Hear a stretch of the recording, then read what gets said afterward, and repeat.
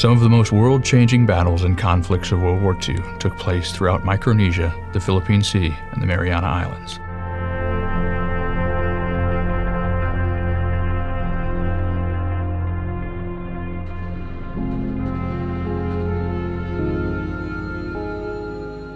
In the World War II history, and this is a pivotal point of why we're here today, we are now standing adjacent to the Fena Cave, where the World War II massacre of whereby 37 Chamorros were killed here, the atrocities that were committed here during World War II by the Japanese forces.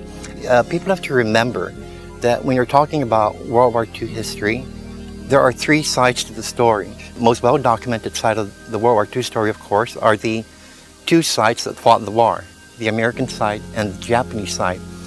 But the Chamorro side of World War II is just more recently being recorded uh, through oral histories by the elders who went through that period of the war. Most of them were born in the uh, in the 1920s that area because they were in their uh, youth also uh, early adulthood that uh, died in this site.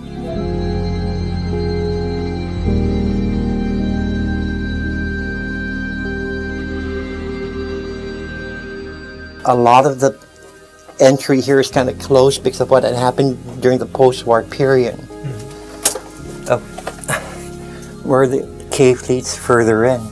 This would have been too small for a large number of the 37 that were assumed to, to have been uh, massacred here.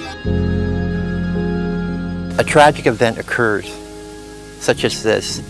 You know, these are like uh, sacred grounds because this is the the last place of their ancestors. This is where they, they, they died. And to Chamorros, when death is not natural, in this case during the war, there's that eternal spirit that they really believe that lives on and always has to be a peace because the death is not natural. That's why the Chamorros come here.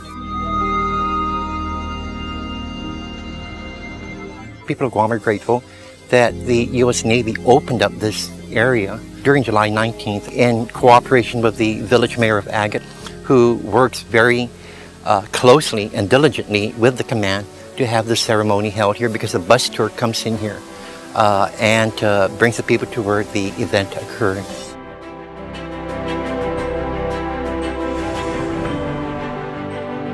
Join us as we walk through the history of a war that changed the world 75 years ago. In the coming months, we will honor and pay tribute to those who lived and suffered through the war and those who died.